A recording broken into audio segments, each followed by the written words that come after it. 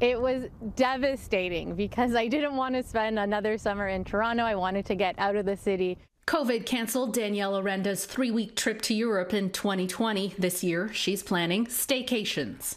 If I can't taste wine in Tuscany, I can do it right here in Ontario. Based on Google searches, interest in staycations across Canada spiked the first week of January. That's when Ontario's tax credit came into effect.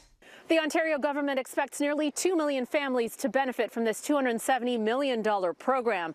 The tax credit can be applied towards accommodation within the province, whether that's a hotel, a cottage, or a campground, and it can apply to a single trip or several. It will reimburse 20% of accommodation costs of maximum claims of 1000 per person, 2000 per family. The hospitality industry says it's a lifeline when many of the businesses are on the brink financially and emotionally, dealing with changing COVID restrictions, inflation, and struggling to find staff. They are frustrated, they're angry.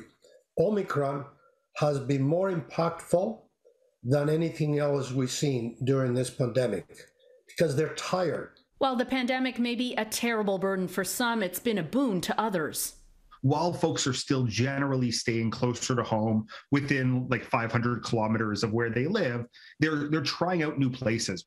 Ontario's staycation tax rebate won't be applicable towards many Airbnb homes, but they've already benefited from the staycation phenomenon. The pandemic has fueled interest in rural Canada. Picturesque Prince Edward County, about two hours east of Toronto. There is world class in our backyard and always has been. And shining a light on that in kind of a tragic, awful time for our industry um, has been kind of that blessing in disguise. After five years of renovations, the Royal Picton Hotel opened weeks ago amid ever changing COVID restrictions. It's designed with staycationers in mind.